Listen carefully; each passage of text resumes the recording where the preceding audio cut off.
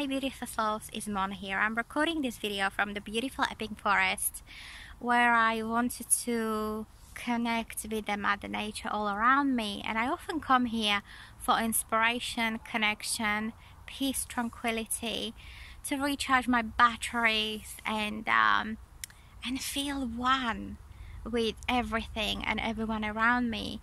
And for those of you who have been on this twin flame journey for a while, you likely know that the whole that there is there are few diff, obviously different lessons and things that we need to master on this journey but the uh, the ultimate path of this twin flame journey leads towards oneness, towards understanding that we are all one. As I do to you, you do to me. As I project from my own insecurities or, or wounds, uh, so I will only be able to experience what I am currently able to perceive in my level of consciousness. And the more I heal myself, the more, the better life I'm able to experience in the external, the more love, the more connection, the more wealth and abundance, and even health, physical health, vitality, and energy.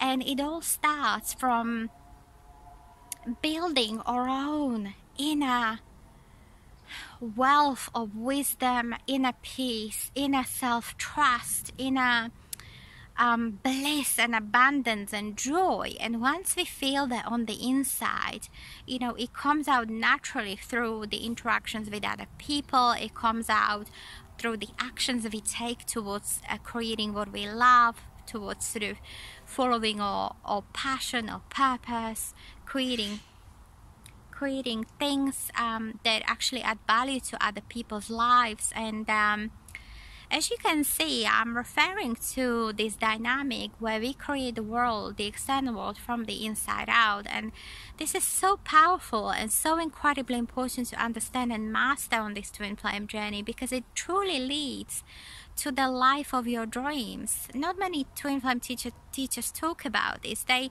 most of the teachers out there want to push you towards the mindset that your soul life's purpose is to be about getting into the union with this other being. But to be fair, I actually don't buy any of that. I used to at the beginning of my journey, and it was only creating so much frustration and pain and suffering within me that I had to seek alternatives. I had to find another way of being, finding peace within me, living in harmony, healing my wounds. And only when I did the inner work uh, on the inside of me, the outer world started to change in in line with my inner you know, feelings, thoughts, belief systems, programs that I would carry. And it translated into all areas of life from love and connection through to abundance and health, happiness, even freedom, being able to feel free and at peace with people who caused me pain and people who hurt me in the past. So it's so incredibly important to master this, sort of creating everything from the inside out. Whatever you strive to achieve within the external environment, if you go about it by forcing, by chasing, by pushing things into the existence and you're not seeing any results, or even using the law of attraction and, and trying to vibe on a certain wavelength thing that what you want is going to manifest. And, and if that's not working out for you then it, perhaps you need to do more work on the inside. And that work tends to, tends to center around three four things that are absolutely critical to master because it, it positions you it puts you into alignment. And basically you have to reprogram your limiting beliefs. You have to heal your inner child. You have to heal your emotional body. Open your heart. You have to be be able to receive. And um, these are some of the most critical things that all represents energy the energy exchange giving receiving opening yourself up to different levels of um, being and um, understanding uh, how easy and beautiful it is to create your own reality when you truly are in the alignment with what you want. But it has to come from the inside out. There is no other way to go about it. And if you still find yourself in a place where you are battling with um, certain emotions, if you are obsessing, if you're longing and chasing after your twin flame, and if you try to get them back through the the conventional means, like I don't know, texting them, writing to them, chasing them, expressing your feelings, or whatever you might be doing. And if any of that isn't working, then I invite you to look within, look into your own heart, and see why you might be doing these things. What is it that you didn't get in your own childhoods that you really wanted, that really hurt you? Uh, that now your twin flame might be mirroring to you. Perhaps there was rejection in your childhood. Perhaps there were people who were abusive or neglectful or selfish or self-centered or um, were unable to give to you and you picked up on those on that energy and embody that as your own. You see the world through that lens, through those glasses, where you believe that other people are here to hurt you, abuse you, or use you.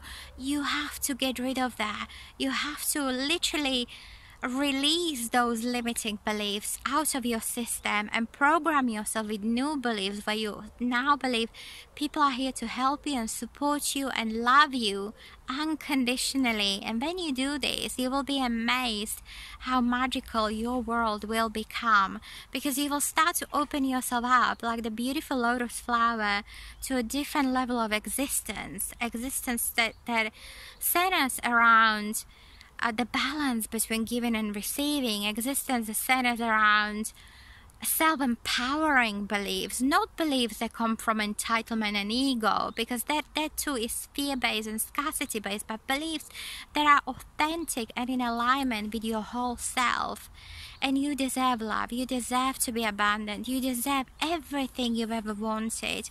So i invite you to start opening yourself up to that. Start becoming more aware of what other potential self-limiting uh, programs you carry within you that might be sabotaging your reality and start dissecting it right down to the thought and a feeling that you might have within you about yourself, others, and the world.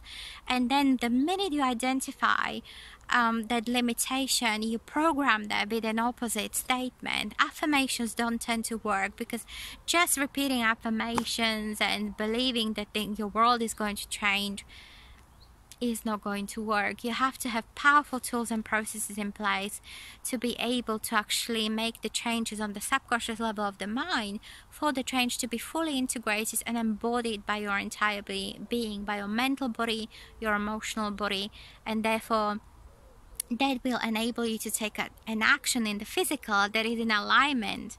So you see so you will be able to see how easily it will then be to manifest the kind of reality you truly want. So i invite you to start observing yourself through a very different lens and see you know every action every thought every belief you have every emotion you feel.